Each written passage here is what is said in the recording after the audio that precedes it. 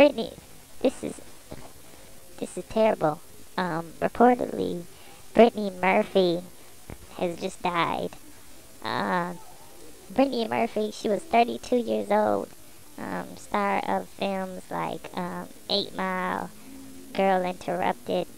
Uh, what else? Um, I can't I can't think of anything else. But um, she died at the age of 32. She was reportedly um, she reportedly went into full cardiac arrest and could not be revived. Um, she was taken to Cedar Sinai Hospital in um, Beverly Hills, California, and she was pronounced dead on arrival. This is horrible.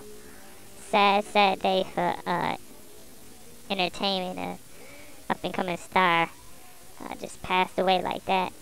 Uh, let's pray for her family. Uh, pray for everybody. Everybody, all the fans out there. Um, R.I.P. Brittany Murphy. Uh, may you live on through your movies.